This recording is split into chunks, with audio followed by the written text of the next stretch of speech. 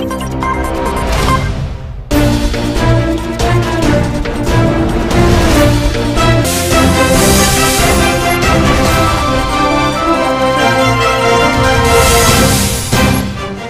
బులెటిన్ను మీకు సహసమర్పిస్తున్న వారు రైతుల నేస్తం పంట అధిక దిగుబడులకు సాక్ష్యం Bharati farming technologies private limited. పంటలపై కీటక నివారణకు ఒకటే solution Bharati farming technologies private limited. నమస్తే welcome to A one TV Telugu news. నేను సౌర్య. ఇక బులెటిన్లో డీటెయిల్స్ చూస్తే కర్నూలులో హైకోర్టు ఏర్పాటుకు రీ నోటిఫికేషన్ జారీ చేయాలని ఆంధ్రప్రదేశ్ ముఖ్యమంత్రి జగన్ కోరారు. హస్తుల పర్యటనకు వెళ్ళిన ఆయన కేంద్ర హోంమంత్రి అమిత్ షాతో దాదాపు గంటకు పైగా సమావేశమయ్యారు. ఈ సందర్భంగా పలు సమస్యలను ఆయన దృష్టికి తీసుకువెళ్ళారు. ఏపీని ఆదుకోవాలని విన్నవించుకున్నారు. కర్నూలులో హైకోర్టు ఏర్పాటు అంశాన్ని రెండు వేల పంతొమ్మిది ఎన్నికల ప్రణాళికలో బీజేపీ కూడా పేర్కొన్న విషయాన్ని సీఎం జగన్ ఈ సందర్భంగా గుర్తు చేశారు. డిసెంబర్లో షాను కలిసినప్పుడు పదమూడు అంశాలను ప్రస్తావించిన సీఎం ఇప్పుడు వాటికి మరో మూడు అంశాలను కలిపి మొత్తం పదహారు అంశాలపై వినతిపత్రం సమర్పించారు. ఇందులో పోలవరం మూడు రాజధానుల ప్రత్యేక హోదా పెండింగ్ నిధులు తదితర అంశాలున్నాయి. వీటితో పాటు Disha bill AP landing titling చట్టాలకు అనుమతి ఇవ్వాలని రాయలసీమ జిల్లాలకు తాగు సాగునీరు అందించేందుకు ఉద్దేశించిన ఎత్తిపోతల పథకానికి అనుమతి ఇవ్వాలని అమిత్ షాకు సమర్పించిన వినతి పత్రంలో పేర్కొన్నారు సీఎం జగన్.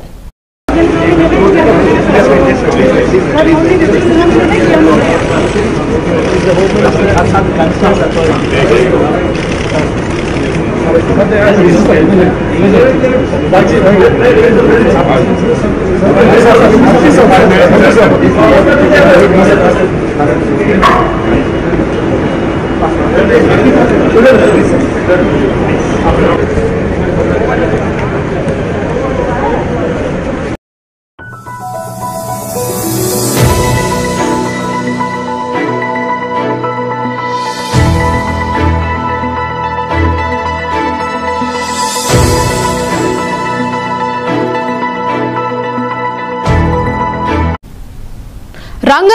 జిల్లా Amangal municipality BJP convener Jhansi Shekhar అధ్యక్షతన మండల స్థాయి భారతీయ జనతా పార్టీ కార్యవర్గ సమావేశం నిర్వహించారు. ఈ కార్యక్రమానికి ముఖ్య అతిథిగా రంగారెడ్డి జిల్లా బీజేపీ ఉపాధ్యక్షుడు కాసుల వెంకటేష్ హాజరయ్యారు. రాష్ట్ర ప్రజలంతా బీజేపీ వైపు చూస్తున్నారని వచ్చే ఎన్నికల్లో రాష్ట్రంలో అధికారం చెప్పడం ఖాయమని కాసుల వెంకటేష్ ధీమా వ్యక్తం చేశారు. ప్రతి కార్యకర్త పార్టీ బలోపేతానికి కృషి చేయాలని దిశానిర్దేశం చేశారు. ఈ కార్యక్రమంలో బీజేపీ కౌన్సిలర్ కార్యకర్తలు తదితరులు పాల్గొన్నారు. కొట్టి ఆయనను నీకు అధికారం దూరం చేసి తీసుకొచ్చి. తీసుకొచ్చిన తర్వాత గ్రేటర్ హైదరాబాద్ ప్రజలేమన్నా వాళ్ళు ఎట్లా దెబ్బ కొట్టాలో అట్లా దెబ్బ కొట్టేసి కేసీఆర్కు ఆయన కొడుకు వంద సీట్లు వస్తాయని ప్రకల్పాలు కలిపిన కేటీఆర్కు చెంపదెబ్బ కొట్టి ఆయనను నీకు అధికారం దూరం చేసి పనిచేసి తెలంగాణ ప్రజలు హైదరాబాద్ గ్రేటర్ హైదరాబాద్ ప్రజలు. ఇలాంటి తరుణంలో అనేక మంది ఇక్కడ ఏది దొరికితే అది తింటూ తిన్నా తినకపోయినా అన్నగారి ఎంబడి ఉంటూ మరి పార్టీని ఈ స్థాయికి తీసుకొచ్చిన నాయకులందరూ కూడా మరొకసారి నేను పాదాపందం చేస్తున్నాను. ఈరోజు మండల కార్యవర్గ సమావేశం పెట్టుకున్నాం. ఇందులో మనం ఒకటి చేయాలి. సంవత్సరం పాటు ఉండడం వల్ల కొన్ని కార్యక్రమాలు కార్యాపణ అనేది జరిగింది. మీ వంతు సేవా కార్యక్రమాల్లో విధిగా పాల్గొన్నారు. దానికి కూడా మేము ధన్యవాదాలు తెలియజేస్తున్నాం మున్సిపాలిటీ బాడీ ఏర్పడిన తర్వాత పార్టీ సమావేశాన్ని మొదటి సమావేశం ఇది.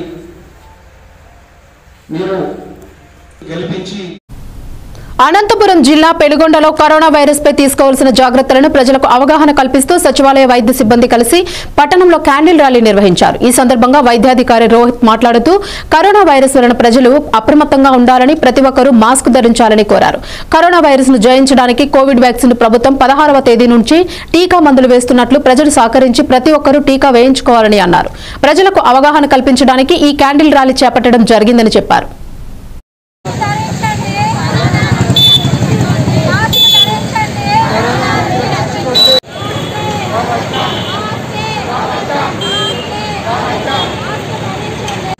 నమస్కారం.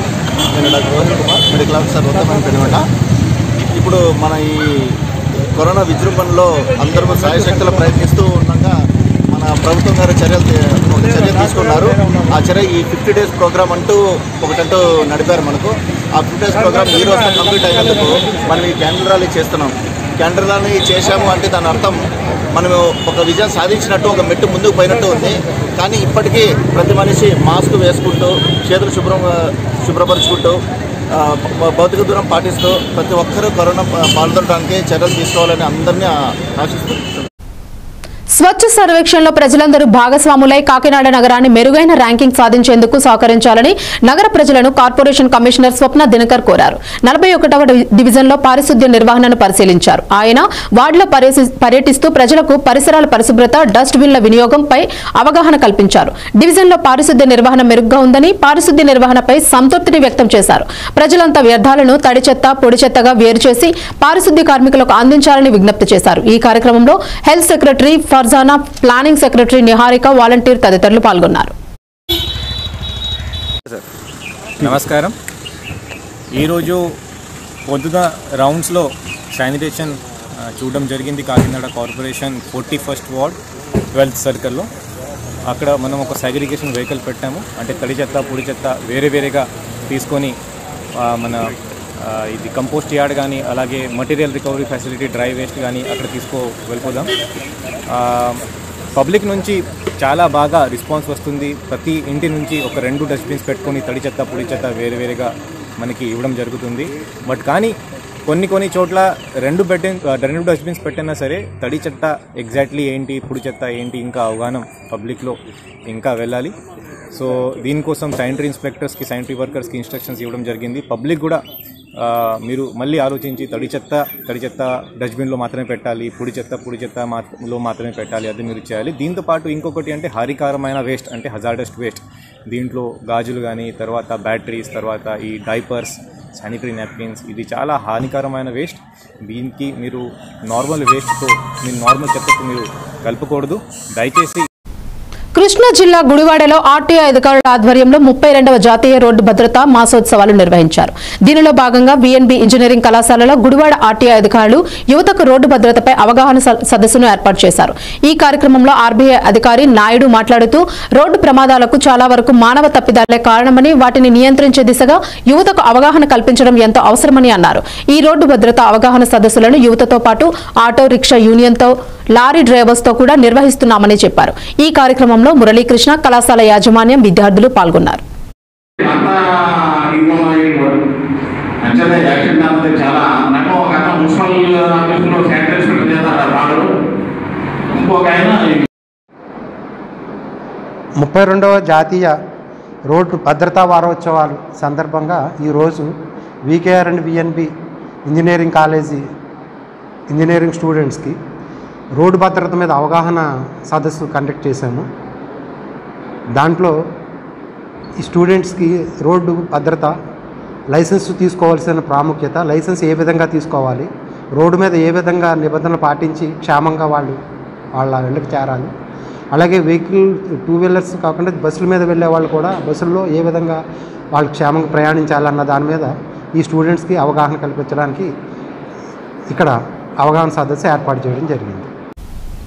తూర్పు గోదావరి జిల్లా కాకినాడ నెహ్రూ యువ కేంద్ర ఆధ్వర్యంలో అచ్చంపేట ఆదికవి నన్నయ్య యూనివర్సిటీ క్యాంపస్లో జల్శక్తి మినిస్ట్రీ వారి catch the rain postal launching కార్యక్రమం జరిగింది. ఈ కార్యక్రమానికి డిఆర్డీఏ ప్రాజెక్ట్ డైరెక్టర్ హరిహరనాథ్ ముఖ్య అతిథులుగా హాజరయ్యారు. తూర్పు గోదావరి సెట్రాస్ సీఈఓ భానుప్రకాష్ అచ్చంపేట ఆదికవి ఆదికవి Nannaya university special officer Ashok Kakinada Nehru Yuva Kendra youth coordinator కీర్తన తదితరులు పాల్గొన్నారు.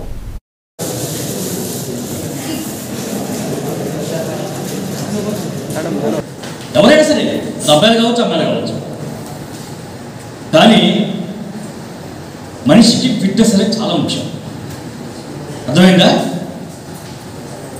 మితంగా తినాలి తినడానికి రెండు రెట్లు ఎక్కువ కష్టపడాలి.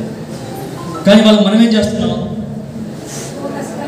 ఉదయం నాలుగు ఇడ్లీ మధ్యాహ్నం భోజనం సాయంత్రం మిరపకాయ బజ్జీ. అనుకున్నావా కాదు.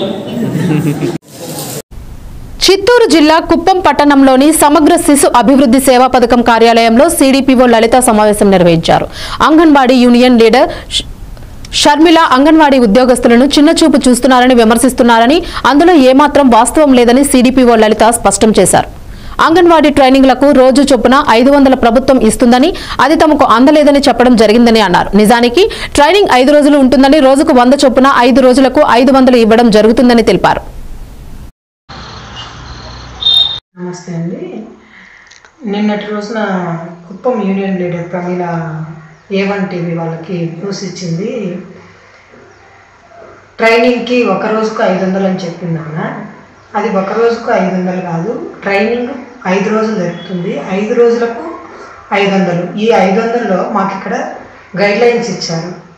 ఐదు వందల్లో అంగన్వాడీ వర్కర్స్కి ఎంఎస్కేస్కి బ్యానర్స్కి టీ స్నాక్స్కి వీటన్నిటికి కలిపి మాకు ఇచ్చారు. అది ఒక ఎన్ని సెంటర్స్ ఉంటే అన్ని సెంటర్స్కి ఒక సెంటర్కి వందలాగా. అంటే ఆ వందలో వీళ్ళకు ఎంఎస్కేస్ కూడా ప్రొవైడ్ చేయాలి. బ్యాలెన్స్కి పెట్టుకోవాలా టీ స్నాక్స్ ఇవన్నీ ఉన్నాయి. మేము చెప్పింది కూడా వాళ్ళకి వందలో ఇవన్నీ పెట్టుకోవాలన్నాము. ఆ తెచ్చిన ప్యాకెట్ కూడా మేము వంద రూపాయలని మేము చెప్పలేదు. వందలో ఇవన్నీ పెట్టుకోవాలన్నది మేము వాళ్ళకి చెప్పాము. కానీ ఆమె మీడియా వాళ్ళకి పిలిచి వీళ్ళు ఫుడ్ ప్యాకెట్ ఇచ్చారు ఇది వంద రూపాయలు అని చెప్పినారు అని ఆమె చెప్తుంది ఆ విధంగా చెప్పలేదు. మాకు ఇచ్చిన గైడ్ లైన్స్ కూడా ఏమున్నాయో అది వాళ్ళకి ఫార్వర్డ్ చేసి కూడా మేము చెప్పడం జరిగింది.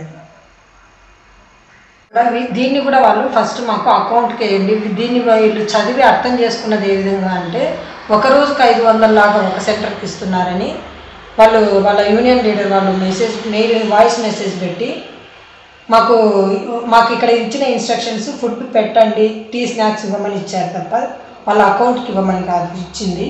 అదే గైడ్లైన్స్ మేము వాళ్ళకు ట్రైనింగ్ పెట్టిన రోజు కూడా చెప్పినాము ఆ మెసేజ్ ఫార్వర్డ్ చేసినాము.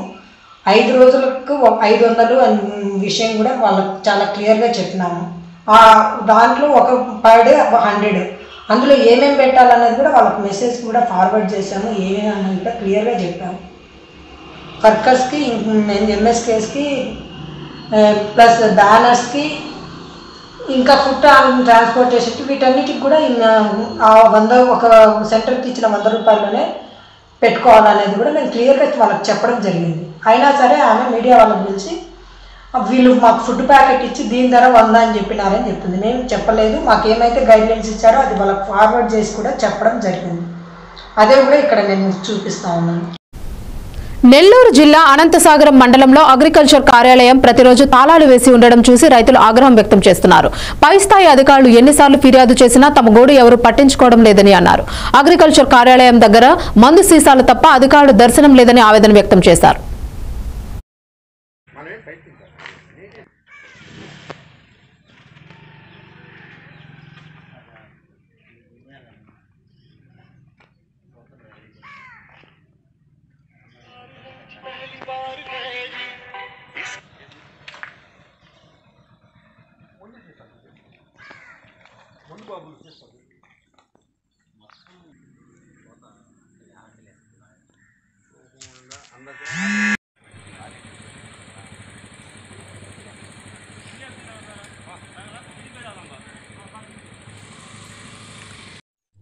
అనంతసాగరం మండలం అగ్రికల్చర్ ఆఫీసర్ బయట ఫోన్ నెంబర్ కానీ ఎలాంటి ఏం సమాచారమే లేదు. ఎప్పుడు వచ్చినా మేము ఏ సమాచారం కావాలన్నా ఆఫీసర్లు ఎవరూ లేరు. దానికి తాళం వేస్తున్నారు. నేను కనీసం ఒక ఇరవై దఫాలు వచ్చి ఉంటాను ఎప్పుడు వచ్చిన తాళం ఎప్పుడు వచ్చినా తాళం ఏముంది తాళం తీస్తున్నా ఒకరో ఇద్దరు ఎవరో ఉంటారు ఎవరు లేరని చెప్తారు. వాళ్ళకి ఫోన్ చేసి ఏమి ఇన్ఫర్మేషన్ ఇన్ఫర్మేషన్ ఎలాంటిది ఎవరు చెప్పరు. ఏ అధికారికి ఎక్కడ పోయినా ఏం లేదు ఇన్ఫర్మేషన్ నో ఇన్ఫర్మేషన్ అగ్రికల్చర్ ఏం తెలుసు? అగ్రికల్చర్ ఆఫీసర్ ఎవరి పేరు తెలియదు అగ్రికల్చర్ ఆఫీసర్ పేరు తెలియదు ఒక్క నాగేంద్ర పేరు తెలుసు. ఆ నాగేంద్ర ఏమీ పట్టించుకోడు. కువైట్లో ఉంటున్న పుల్లంపేట దళిత మహిళను రాజంపేటకు చెందిన ఒక వ్యక్తి సోషల్ మీడియాలో లైంగిక వేధింపులకు గురి చేస్తున్నాడు. ఈ సమాచారాన్ని కడప జిల్లా రైల్వే కోడూరు వైసీపీ మహిళా ఇన్ఛార్జ్ లక్ష్మీనారాయణమ్మ పోలీసుల దృష్టికి తీసుకువచ్చారు. వెంటనే railway Koduru circle inspector Anandarao SI పెద్ద ఓబన్న రంగంలోకి దిగి సైబర్ క్రైమ్ అధికారుల ద్వారా సమస్యను పరిష్కరించారు. దీంతో పోలీస్ అధికారులను వైసీపీ మహిళా ఇన్ఛార్జ్ లక్ష్మీనారాయణమ్మ సాలువతో సన్మానించారు.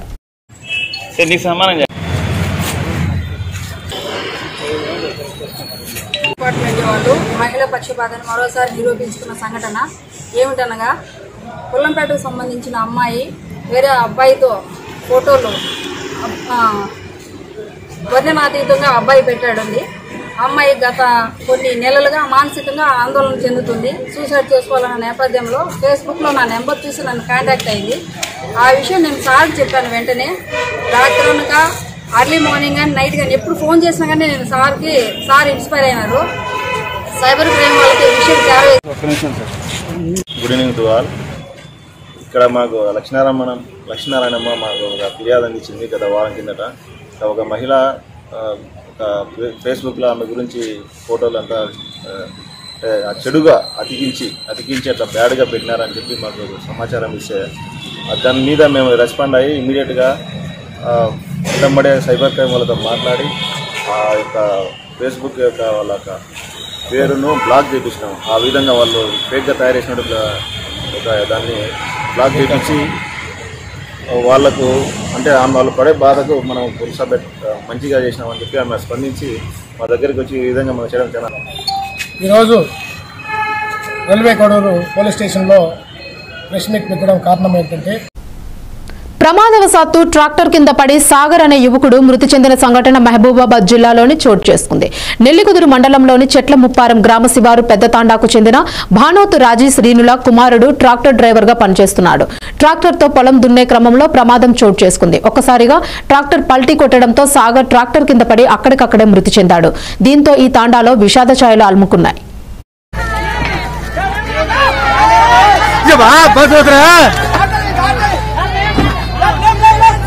மாமா தாரமா வா மருகோரா மருகோ பாப்பா. மருகோ மருகோரா ஏவா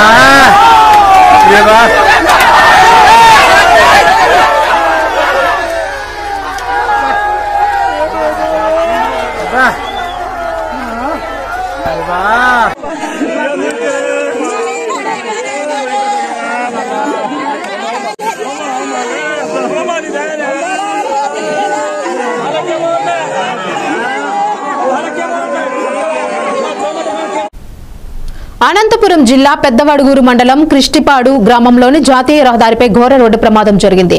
కృష్టిపాడు సమీపంలో జాతీయ రహదారిపై విద్యుత్ సబ్స్టేషన్ వద్ద బైకును కారు ఢీకుంది. అదే సమయంలో గుత్తి నుంచి తాడిపత్రికి వస్తున్న బస్సుకు తగలడంతో నలుగురు ద్విచక్ర వాహనదారులు గాయపడగా గుత్తి ప్రభుత్వ ఆసుపత్రికి వారిని తరలించారు. ఘటనపై కేసు నమోదు చేసుకున్న పోలీసులు దర్యాప్తు చేస్తున్నారు.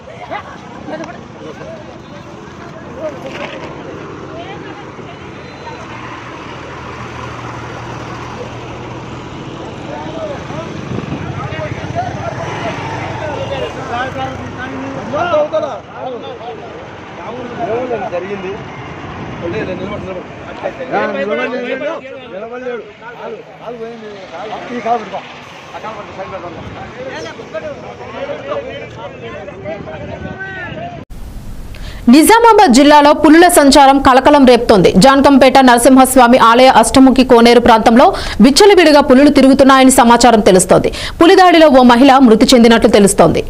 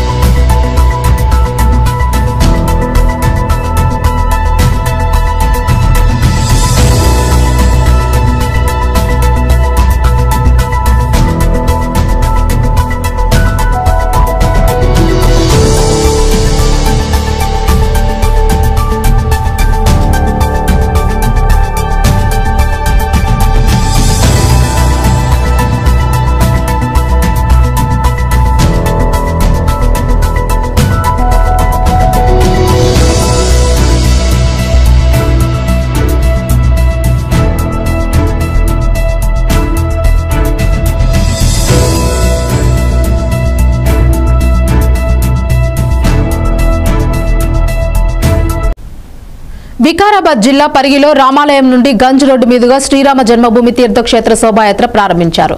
అయోధ్య రామమందిర నిర్మాణం భారతదేశంలోని ప్రతి ఒక్క హిందువు చిరకాల స్వప్నం అబ రామమందిర నిర్మాణం కోసం శ్రీరామ జన్మభూమి తీర్థక్షేత్ర శోభాయాత్రలో హిందూ బంధువులందరూ అధిక సంఖ్యలో పాల్గొన్నారు. ఈ శోభాయాత్రలో మహిళలు దాండియా ఆటలతో ఆటలు ఆడుతూ యువకులు ఆటపాటలతో సంతోషంగా శోభాయాత్ర నిర్వహించారు. ప్రతి హిందూ బంధువులందరూ శోభాయాత్రలో అధిక సంఖ్యలో పాల్గొన్నారు.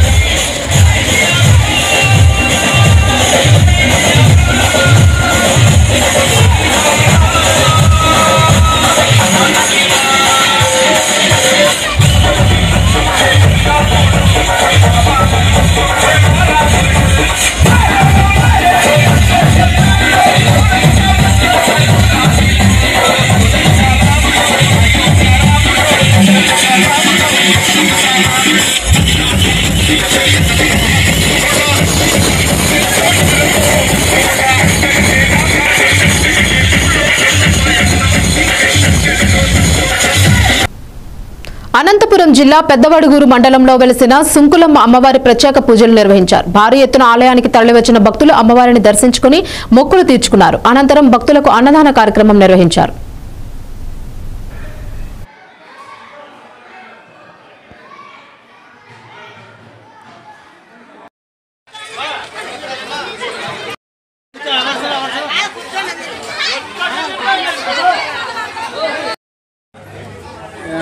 గ్రామ పెద్దలు చాలా ఏళ్ళ క్రితం ఎప్పుడు మా పిల్లప్పుడు జరిగింది కానీ ఇప్పుడు దగ్గర దగ్గర ఇప్పుడు మూడు సంవత్సరాల నుంచి మేము మా మా స్వతహాగా మా మా కాలనీలో. చేయడం జరిగింది. అప్పుడు ఎప్పుడో మా పెద్దలు చేసినారు. ఎప్పుడో మాకైతే గుర్తులేదు కానీ ఇప్పుడు చేస్తున్నాం. గత మూడేళ్ళ నుంచి కంటిన్యూగా చేస్తున్నాం ఈ జాతర. ఆ జాతర అయిపోతేనే వారానికి నలభై ఐదు రోజుల లోపల ఈ అన్నదాన కార్యక్రమం కూడా చేపడుతున్నాం. అది కూడా మా సహకార కాలనీ కాలనీ వాసులతో నుంచే ఈ కాలనీ ఈ కార్యక్రమాన్ని నిర్వహిస్తున్నాం జరగ జరుగుతుంది. అంతేగాని మా మాదేం లేదు. మా కాలనీ వాసులతో నుంచే ఈ కార్యక్రమం జరుగుతుంది. కర్నూలు జిల్లా ఆళ్ళగడ్డ పట్టణంలోని స్థానిక అమ్మవారిశాలలో త్రిదండి చిన్నజీఆర్ స్వామి సందర్శించారు. అనంతరం శ్రీవాసవి కన్యకా పరమేశ్వరి దేవిని దర్శించుకున్నారు. అదేవిధంగా సమర సర్వసమ్మత సేవా ఫౌండేషన్ ఆధ్వర్యంలో హిందూ సమ్మేళనంలో భాగంగా చినజీఆర్ స్వామి పాల్గొన్నారు. కులాలకు అతీతంగా మనమందరం కలిసిమెలిసి జీవించాలని ఎవరి కులాలు వాళ్ళు వారి కులాన్ని ఆచరించాలని చినజీఆర్ స్వామి తెలిపారు. ఈ కార్యక్రమంలో అమ్మవారి శాల అధ్యక్షులు వినోద్ ఆళ్ళగడ్డ ఎమ్మెల్యే గంగుల బ్రిజేందర్ రెడ్డి సమరసమత సేవా ఫౌండేషన్ ధర్మ ప్రచారకులు తదితరులు పాల్గొన్నారు.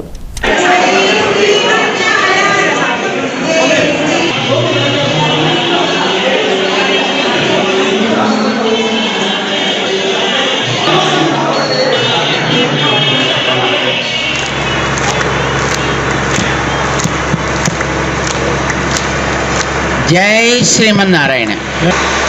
మన ఆళ్ళగడ్డ నగరంలో మీ అందరితోటి సమావేశమై ఇప్పుడు ఇక్కడ బయలుదేరాల్సిన సమయం ఇది. అయితే మధ్యలో ఏర్పడ్డ కొన్ని కార్యక్రమాల ప్రభావం చేత ఇప్పటికి మీ దగ్గరికి చేరగలిగాం.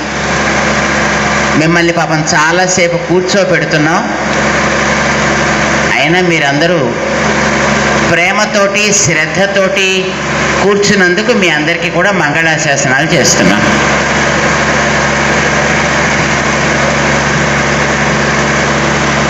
ఈవేళ మన ప్రాంతంలో ఉండేటటువంటి ద్వాదశ జ్యోతిర్లింగ క్షేత్రమైన శ్రీశైల భ్రమరాంబ మల్లికార్జున స్వామివార్లకు భక్తులు వివిధ రూపాల్లో కానుకలు సమర్పించారు. హుండీల లెక్కింపు ద్వారా దేవస్థానానికి మొత్తం మూడు కోట్ల ఎనభై రెండు లక్షల ఇరవై మూడు వేల తొమ్మిది వందల రూపాయల నగదు రాబడి లభించింది. ఈ హుండీ ఆదాయాన్ని భక్తులు గత ముప్పై ఐదు రోజులలో సమర్పించినట్లు ఈవో కెఎస్ రామారావు తెలిపారు. దీంతో పాటు నూట యాభై మూడు పాయింట్ తొమ్మిది గ్రాముల బంగారం నాలుగు పాయింట్ ఏడు కిలోల వెండి లభించాయి. అలాగే రెండు వందల యుఎస్ఏ డాలర్లు నూట యాభై ఐదు దీర్ఘాంస్ పదిహేను యూరోస్ ఐదు కెనడా డాలర్లతో పాటు పలు విదేశీ కరెన్సీ కూడా హుండీ లెక్కింపులో లభించాయని తెలిపారు. పటిష్టమైన భద్రతా ఏర్పాట్ల మధ్య సీసీ కెమెరాల నిఘాతో ఈ లెక్కింపును చేపట్టారు. దేవస్థాన అన్ని విభాగాల అధికారులు సిబ్బంది ఈ హుండీ లెక్కింపులో పాల్గొన్నారు.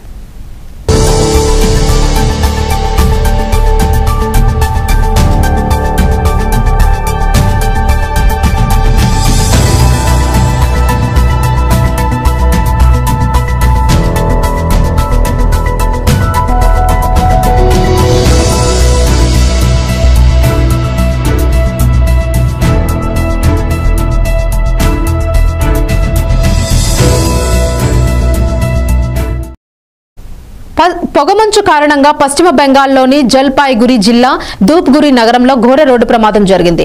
పదమూడు నిండు ప్రాణాలు బలవడంతో పాటు మరికొంతమందికి తీవ్ర గాయాలయ్యాయి. ఒక ట్రక్ రోడ్డును కప్పేసిన పొగమంచుతో దారి కనిపించక ఆటోను కారును ఢీకొట్టింది. దీంతో పదమూడు మంది అక్కడికక్కడే మృతి చెందారు. పద్దెనిమిది మంది తీవ్రంగా గాయపడ్డారు. సమాచారం అందుకున్న పోలీసులు సంఘటనా స్థలానికి చేరుకుని సహాయక చర్యలు చేపట్టారు. క్షతగాత్రులను చికిత్స నిమిత్తం ఆసుపత్రికి తరలించారు.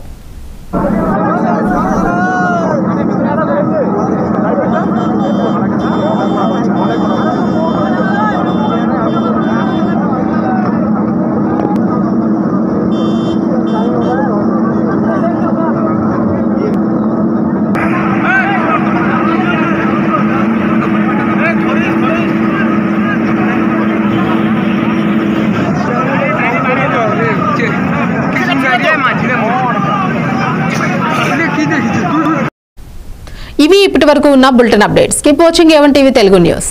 ఈ బులెటిన్ను మీకు సహసమర్పిస్తున్న వారు రైతుల నేస్తం పంట అధిక దిగుబడులకు సాక్ష్యం Bharati farming technologies private limited. పంటలపై కీటక నివారణకు ఒకటే solution Bharati farming technologies private limited.